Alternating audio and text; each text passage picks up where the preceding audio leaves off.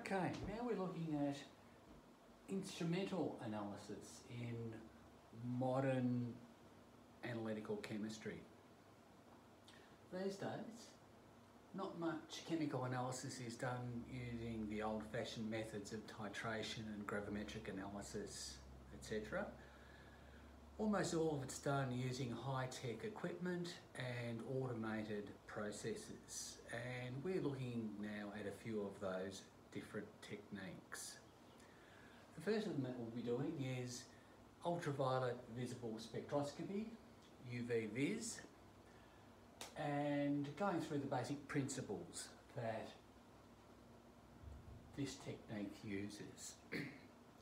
so the basic technique is by measuring how much light gets absorbed by the solution. Now if you've got, you know just intuitively that the, um, the intensity of the colour of a solution gives you a good indication of how concentrated it is. So here going from left to right we've got decreasing concentrations of copper sulfate solution.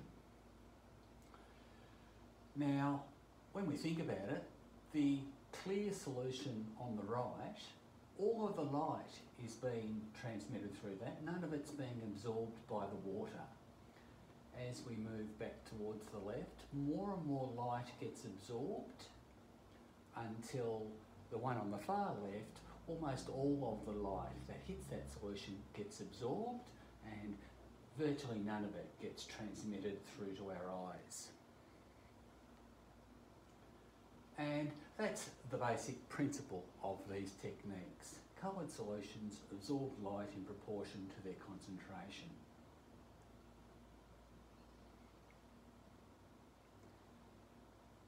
Now all this has been analysed mathematically.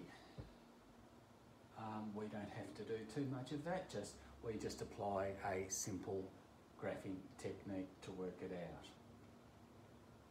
Now let's just think about that difference between absorbed light and transmitted light. Think about a fairly simple example like when white light strikes a green leaf. The sunlight that hits the green leaf contains all of the colours of the rainbow. So from red to violet, all of that light is hitting the leaf. Now, when that light hits the leaf, most of the colours get absorbed.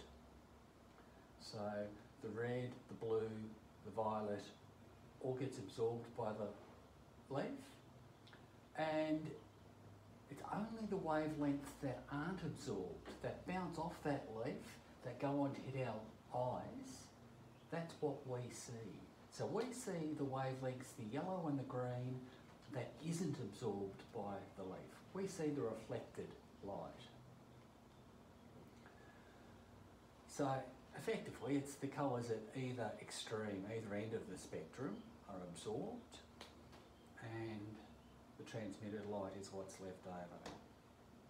So it's the red and the violet, those wavelengths are the wavelengths that um, leaves in photosynthesis that they turn into chemical energy that we all depend on.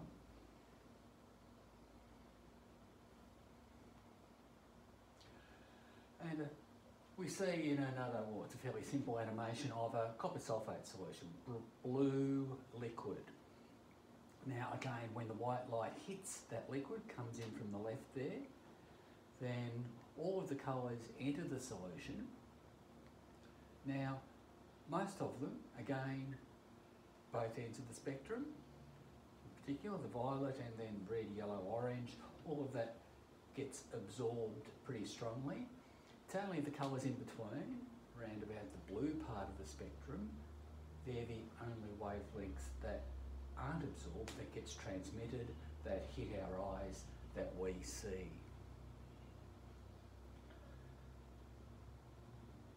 Now, just remember with this, um, our perception of colour is as much a psychological process as a physiological process. So the exact wavelengths that get absorbed and transmitted don't correspond perfectly to um, what we see, but it gives the overall um, process by which it works pretty accurately. So going back to that um, chlorophyll example, there are two molecules in chlorophyll which absorb strongly. Um, one absorbs strongly a blue part of the spectrum, the other absorbs strongly in the red part of the spectrum. So what we see is focused on what's in the middle and that centres on the green part of the spectrum.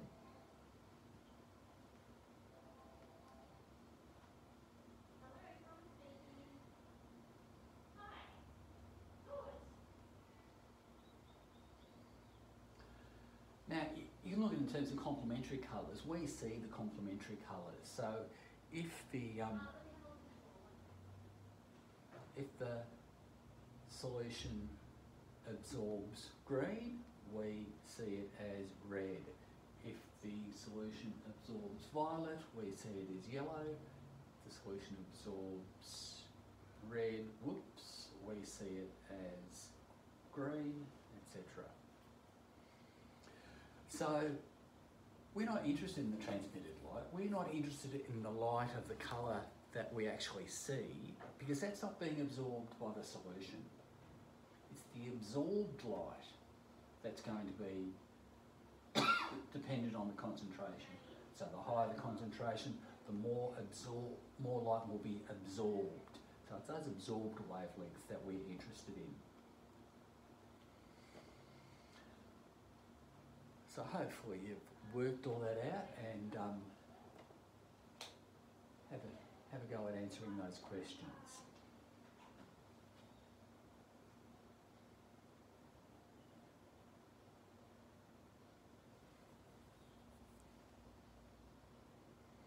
Okay, copper sulfate appeared blue because blue light is transmitted.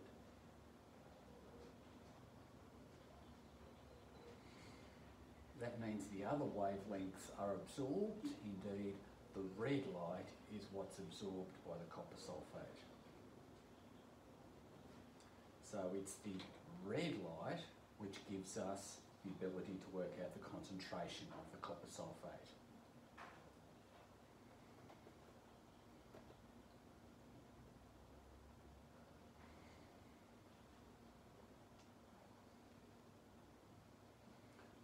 Therefore, it's red light that we would use to uh, measure copper sulfate um, for chlorophyll. To work out the best wavelengths to use, we use this absorption spectrum, which is a measurement of the amount of light absorbed at each wavelength. And it's those peaks. We would use one of those peaks to work out concentration of chlorophyll. So it's either going to be that violet end, blue violet end, or it's either or that red end. So one of those two wavelengths, 430 or 660 or so.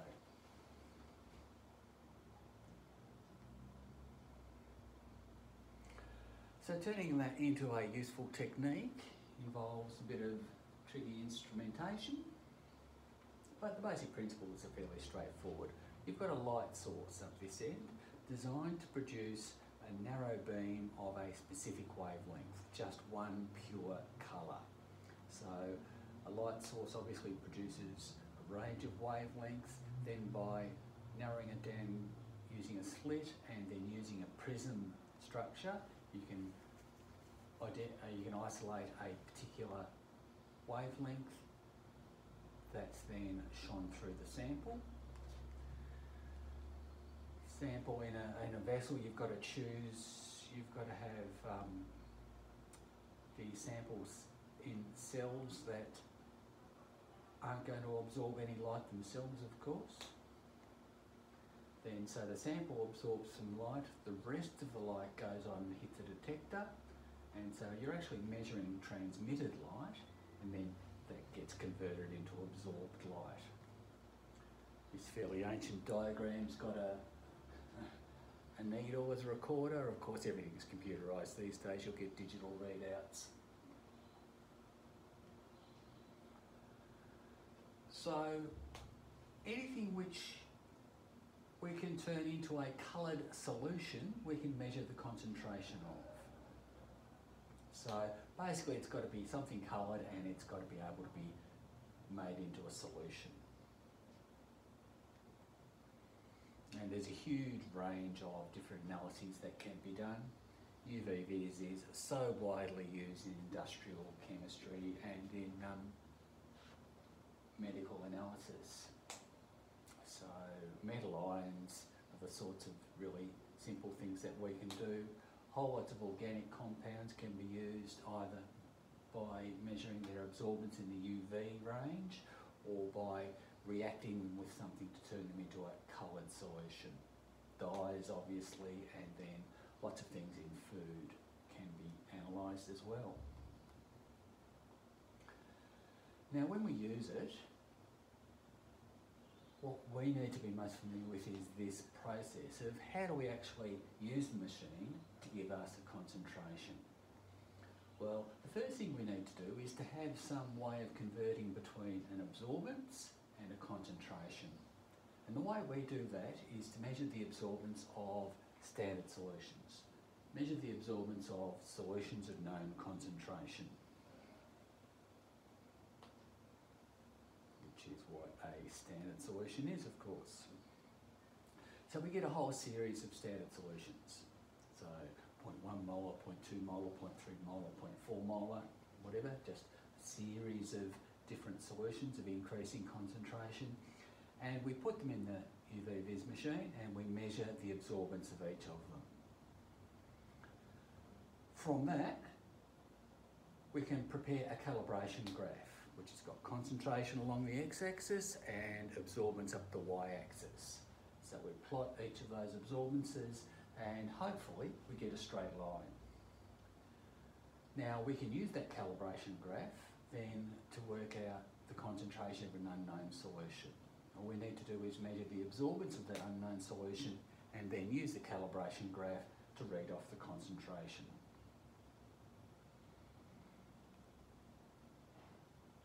So, an example. We're measuring concentration of a potassium permanganate solution which is an intensely violet coloured solution, very suitable for UV vis. So what are we going to do? We're going to prepare ourselves a series of standard solutions, measure their concentration, and then measure the concentration of our unknown solution.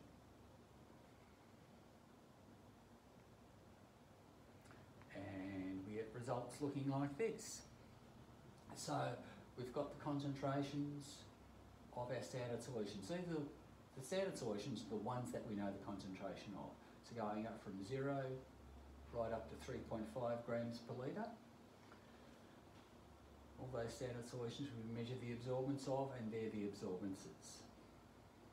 Then after we've done that, we can then measure the absorbance of our unknown solution and we'll see it somewhere in the range see it's 0.62, which sort of fits in there. So you can see it's going to be somewhere between 2 and 2.5 grams per litre.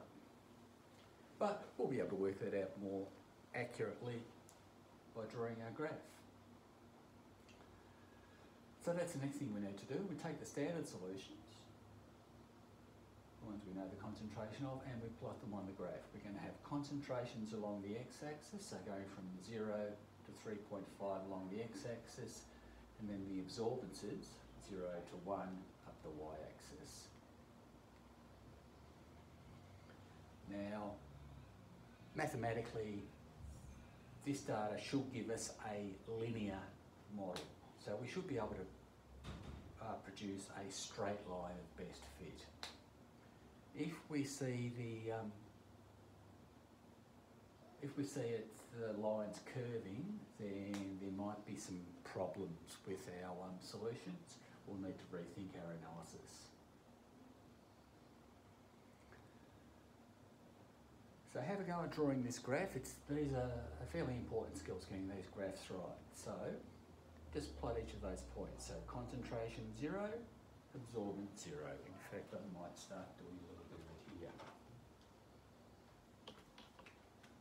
Concentration 0, absorbance 0. Concentration 0.5, absorbance 0.13. So I'm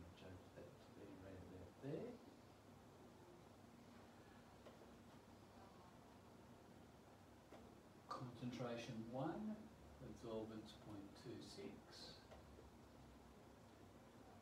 One point five is point three nine.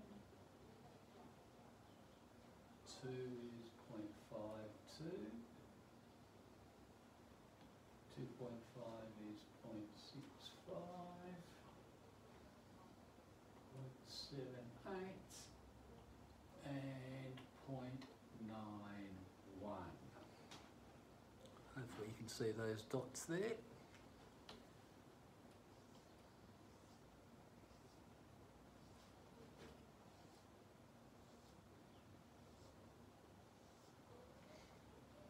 And the next thing to do is to draw a line of best fit. So with that ruler, which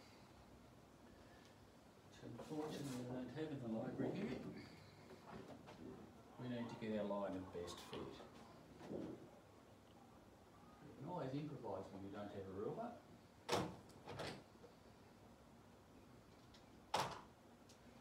And we see it. Whoops. Is it actually going on? No.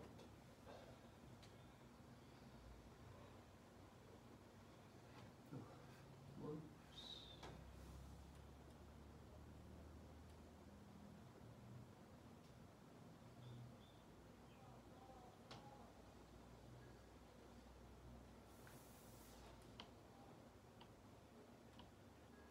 And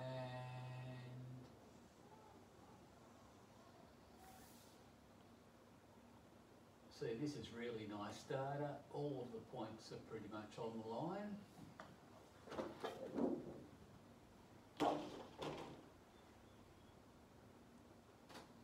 So that's a calibration graph. Now, once we've got our calibration graph, we can use that graph to work out the concentration of our unknown. So 0.62, so read off 0.62 on the absorbance, come across the graph, read off down on the x-axis. There might be a slightly neater animated version here, I'll just, oh, look at that, perfect. Then the concentration of the unknown solution, so read across from point, I say point six two, to where it hits the graph, then read off down on the x-axis, and we see our concentration is two point four grams per litre. So that's the basic process of um, UV vis spectrophotometry. Pretty straightforward. Just need to get your graph work happening there. So have a go at that question, pause the video, have a go at the question, and then once you've done it, come back and check your answer.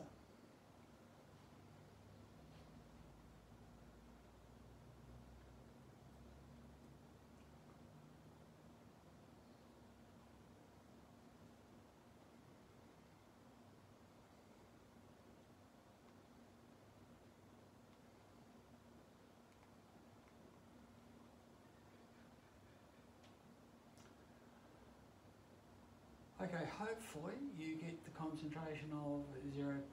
I don't have any animated solutions on this. So with concentration 0 up to 0.2 going along your x-axis, then the absorbance is going up to probably up to 6 on the y-axis. Your graph's going to, I'll do a very quick sketch of what it's going to look like if I can somewhere here. So your concentrations going up to 0.02.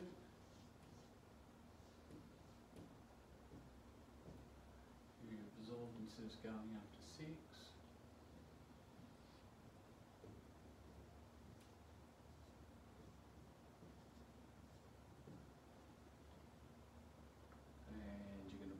each of those, so 0 0.05, 7, 4.2, 5.6. Then rule your line of best fit, then read off the concentration of the unknown, the absorbance of the unknown, don't use that one, of course, in constructing our calibration graph. We only use that right at the end to work out our concentration of unknown. So 3.6, according to my pretty bodgy graph. Read off down here and, oh, it's actually not that too far. I've got that a little bit low, but you can see it's fairly close to 0.013.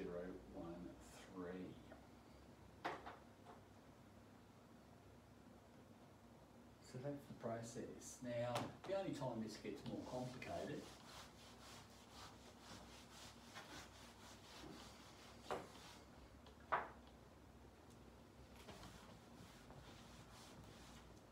is um, when we get dilutions involved.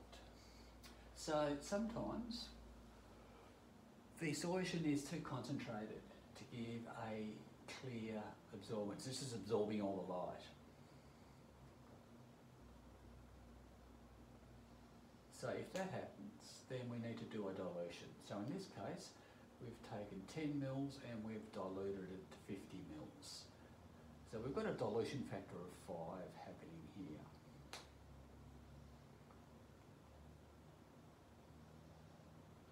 So we've got our calibration graph. Thankfully someone's done the work for us and prepared our calibration graph. So we can take the absorbance of our unknown solution, our diluted solution, read that off.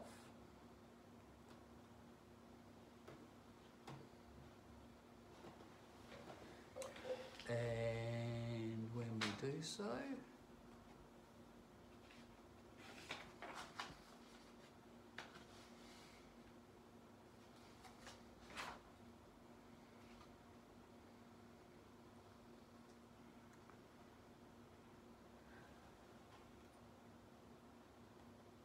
whoops, we'll get 13.5. So what was the absorbance we were reading off? It's 0.989, 0.989, 0.989 is going to be there. So we rule our line across, we're going to hit there.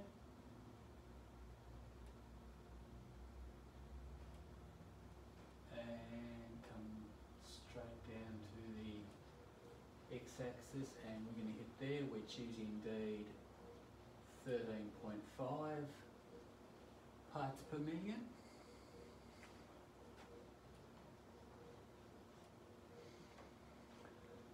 Uh, again, I don't have a ruler here, so we would rule that across, rule that down. So that's a diluted solution. Now, from the question, we can see that we did a dilution to prepare that. So what was the dilution? Well, we know the two volumes. 10 mil was the initial volume, 50 mils was the final volume. So that gives us a dilution factor of 5. So the original concentration must have been 5 times higher. 67.5 parts per million. Okay. Next, we need to turn that into a molarity. Now, you'll all recall that. Of course, from our work on units of concentration, we're turning parts per million into moles per litre. Now, parts per million, when we're talking about solutions, we usually mean milligrams per litre. So we turn milligrams per litre into moles per litre. So that basically means milligrams has to be turned into moles. So milligrams to grams, divided by 1000.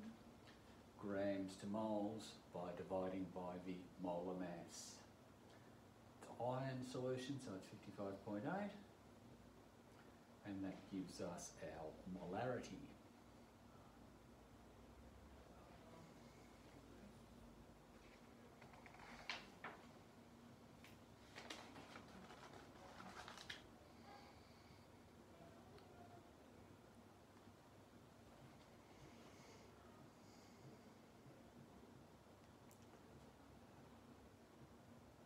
So similarly, have a go at this question.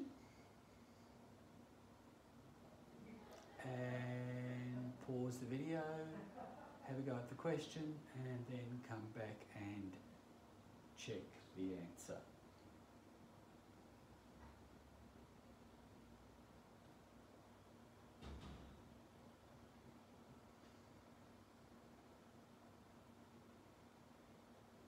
Okay, so we've got our diluted solution's got an absorbance of 0.18. We read across that, rule down here, and we get 0.23. So 0.18 across the graph reads off down here, midway between point 0.020, 0.205. What was the concentration of the original solution? What was our dilution? Our dilution was 20 mils to 250 mils. So 250 over 20 gives us a dilution factor of 12.5. The initial solution must have been 12.5 times the diluted solution, which gives us 0.288 molar.